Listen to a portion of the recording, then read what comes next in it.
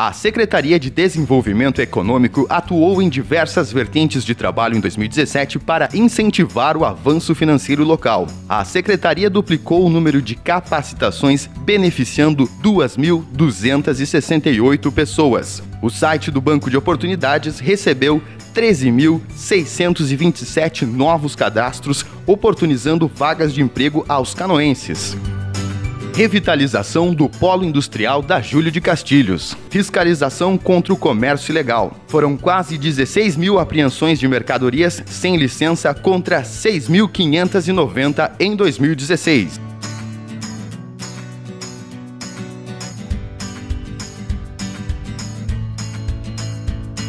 Definitivamente, Canoas entra na rota e no cenário das grandes cidades que vem promovendo desenvolvimento econômico ao longo de 2017 e, por conseguinte, vamos seguir assim ao longo de 2018.